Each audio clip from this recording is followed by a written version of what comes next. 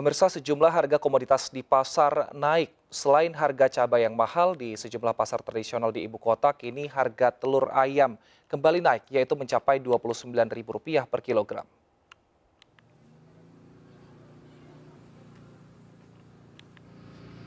Pasca lebaran awal Mei lalu, harga sejumlah kebutuhan pokok di pasar tradisional di Jakarta naik. Seperti yang terjadi di Pasar Rawasari Cempaka Putih, Jakarta Pusat. Di pasar ini, cabai rawit merah dijual Rp110.000 per kilogram atau naik Rp50.000 hingga dari harga awal. Kenaikan harga cabai dipicu cuaca buruk membuat banyak petani cabai gagal panen. Selain cabai, kenaikan harga juga terjadi pada telur ayam yang semula Rp24.000 naik menjadi Rp29.000 per kilogram.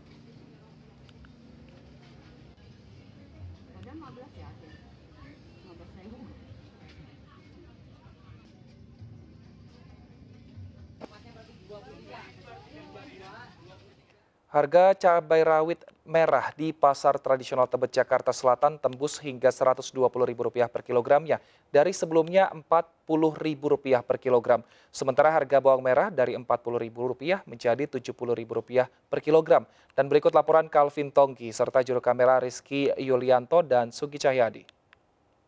Ya pemirsa komoditas bahan pangan kembali naik. Salah satunya di tempat kami melaporkan saat ini tepatnya di Pasar Tebet Jakarta Selatan.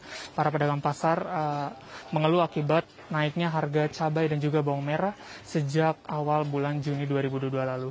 Adapun harga tersebut dari harga cabai merah sekarang dari yang sebelumnya harganya 40.000 per kilogramnya sekarang meroket menjadi 120.000 bahkan sampai 130.000 per kilogramnya. Dan ada juga dari uh, bawang merah juga mengalami kenaikan serupa yakni dari harganya 40.000 sekarang naik menjadi 70.000 per kilogramnya. Sementara itu untuk komoditas lainnya ada juga dari harga telur namun belum terlalu signifikan.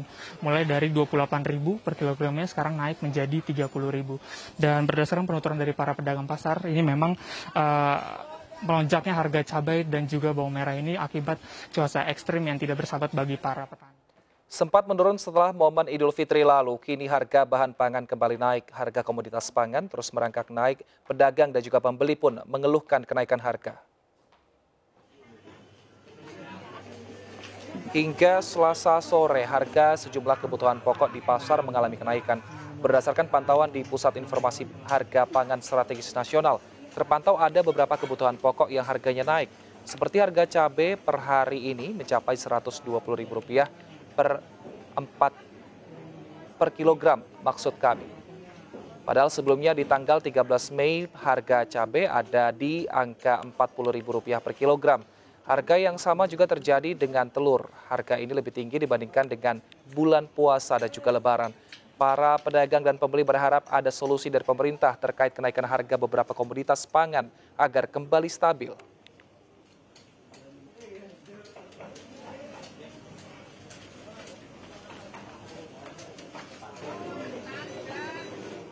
Harga bahan pangan kini mulai kembali merangkak naik. Bagaimana dengan harga bahan pangan di Pasar Tebet? Sudah bergabung bersama kami rekan Nadia Raisa di sana. Selamat sore Nadia, seperti apa harga bahan pangan di sana dan apa-apa saja yang naik?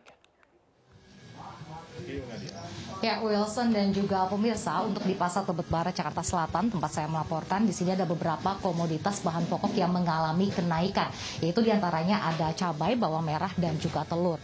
Untuk cabai rawit merah di sini dibanderol dengan harga Rp120.000 per kilogram dari harga normalnya adalah Rp40.000 per kilogram. Sementara untuk bawang merah kini dibanderol dengan harga Rp65 hingga Rp70.000 per kilogram dari harga normalnya Rp40.000 per kilogram kilogram. Sedangkan untuk harga telur juga mengalami kenaikan yaitu di harga Rp32.000 per kilogram. Padahal harga normalnya adalah Rp26.000 per kilogram. Dan bahkan ini lebih tinggi dibandingkan pada saat bulan puasa di mana pada saat bulan puasa dan juga menjelang lebaran harga tertinggi telur hanya mencapai di Rp28.000 per kilogram.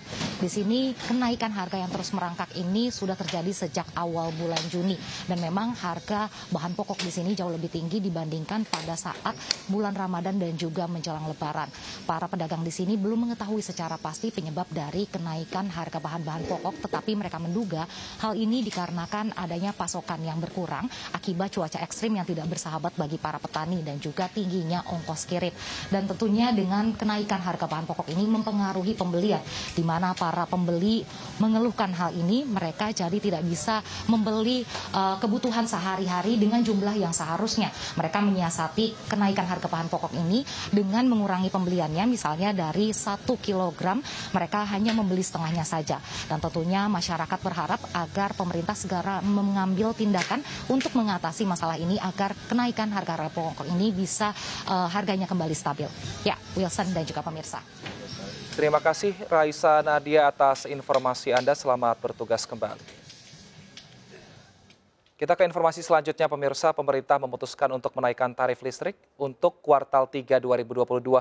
Penyesuaian tarif listrik dilakukan pada lima golongan pelanggan non-subsidi.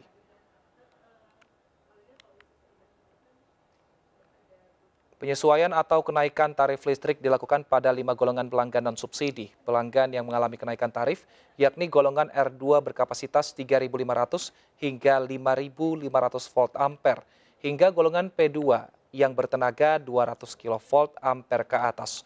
Penyesuaian tarif listrik dilakukan menimbang perubahan sejumlah indikator makro, salah satunya Indonesia Crude Price atau ICP dan berlaku mulai 1 Juli 2022. Selain itu, penyesuaian dilakukan memperkecil kompensasi yang dilakukan pemerintah. Hingga akhir tahun, kompensasi yang disiapkan mencapai 65 triliun rupiah. Menteri Keuangan Sri Mulyani Indrawati mengatakan Presiden Joko Widodo telah merestui kenaikan tarif listrik sebagai respons pemerintah atas lonjakan komoditas energi. Presiden sudah menyetujui untuk berbagi beban untuk pelanggan listrik di atas 3.000 volt ampere mendapatkan kenaikan tarif listrik.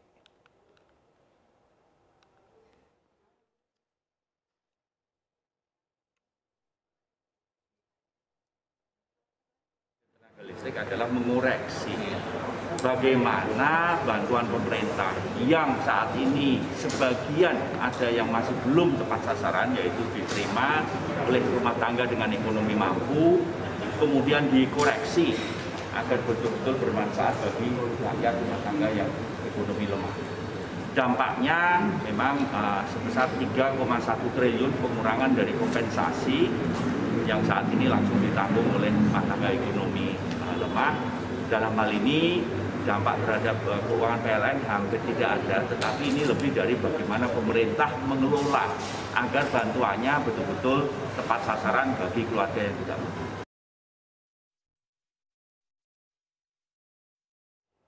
Pemerintah memutuskan untuk menaikkan tarif listrik 1 Juli mendatang. Beragam reaksi datang dari sejumlah masyarakat. Jangan ya Mbak, mohon dia sama pemerintah kondisinya kita kan saat ini masih baru dari pandemi, ekonominya lagi kurang baik gitu kan. Jadi kayaknya jangan terlalu ini karena dari apa namanya sembakonya aja apa sanda eh, pangannya kita kan lagi pada meningkat seru terus apa semua. Berarti harapan sama pemerintah tolong tolong jangan dinaikkan. Ya. Aduh, jangan naik-naik terus dong banyak yang naik ini, naik berat badan aku aja udah naik, listrik naik lagi, pusing kan. Aduh, udah deh pokoknya buat pemerintah nih jangan naik-naik naik-naik naik titik udah nggak ada koma. Oke? Okay? Kalau bisa pemerintah lebih bijaksana lah ya. Uh, semuanya harga naik, bahan baku naik, material rumah naik Eh, properti naik. Terus kalau listrik naik, terus gimana? Uh, yang lebih yang lebih konsen sih uh, masyarakat yang di bawah ya kasihan lah ya kalau bisa tolonglah dipertimbangkan lagi ya.